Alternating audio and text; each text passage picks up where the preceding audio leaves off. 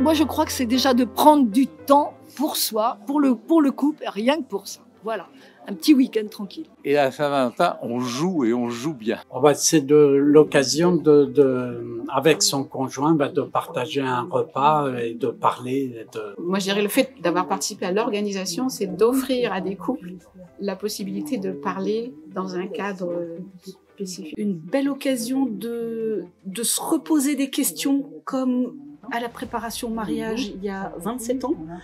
Euh, ça, ça, permet de prendre un temps pour échanger en couple.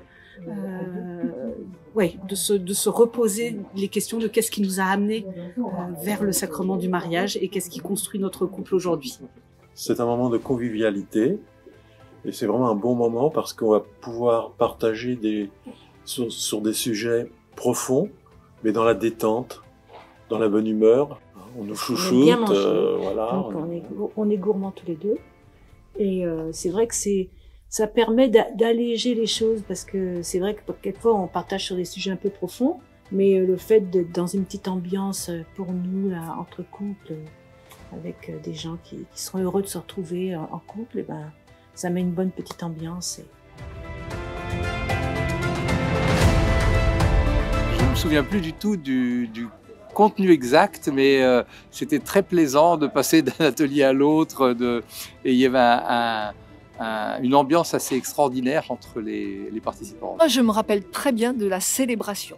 La célébration où on a mis des petits, des petits, des petits papiers dans l'eau avec des, avec des, des phrases, des, des, et ça devenait des nénuphars. C'était un émerveillement. C'est le plaisir de faire quelque chose en équipe. Oui, oui, oui ça c'est. Voilà. Donc, ouais, et ça, ça, ça, a été souvent nos, nos moments de bonheur, c'était de faire des choses en équipe. Comme, et chacun fait, euh, bon, de préparer, et, voilà, chacun apporte quelque chose à la réussite. Voilà. À l'occasion du repas le soir, ça a été l'occasion pour nous de nous faire servir par notre curé. Ouais, C'était les, les, jeux, effectivement, tous les temps de, tous les temps de jeu où on se, on se repose des vraies questions, l'air de rien. Sous, la forme, sous une forme ludique, mais des questions sérieuses. On a rencontré euh, une personne qui est venue dans notre paroisse un an et demi après. En fait, elle, elle savait déjà qu'elle allait venir sur Tréquin. Et euh, elle nous en a parlé, on ne la connaissait pas, quoi. Et ensuite, eh bien, c'était, euh, c'était une approche pour nous. Euh, voilà. Pour permettre de mieux la connaître, on, voilà. on, avait un lien déjà au départ. Mais sinon, euh, ben on a, on a comment dire, témoigné lors d'une soirée Saint-Valentin. Donc, nous, on aime bien aussi quand on nous demande des témoignages parce que ça nous force à, à réfléchir à des, à des choses ensemble et ça nous fait progresser.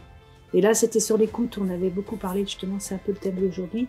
L'écoute, qui est essentielle dans le couple, mon Dieu, mon Dieu. Mais c'est un travail de toute une vie. C'est jamais fini, ça.